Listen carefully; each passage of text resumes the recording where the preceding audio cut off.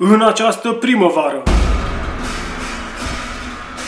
Trombon.ro vă prezintă realitatea incendiară, necenzurată. Turnul Babelor, un reality show palpitant, feroce. Ea era o babă anostă, cu un destin implacabil. Viața ei orbita în jurul pensiei, alimentării și troleului până când a decis să devină protagonista celui mai geriatric show din istoria televiziunii. Turnul Babelor, atât de îndrăzneț încât a fost respins chiar și de OTV.